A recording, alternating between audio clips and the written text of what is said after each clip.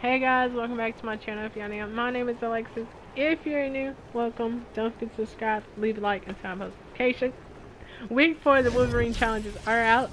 So what you have to do is you have to launch off all Cicene hands without touching the ground. I think I'm saying that right. I'm probably butchering it a little bit. So I figured out how to do this.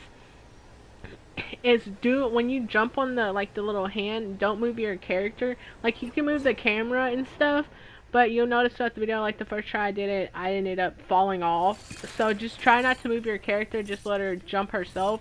And then your challenge be completed, you do have to jump on a total of 5. And then you will get his wrap.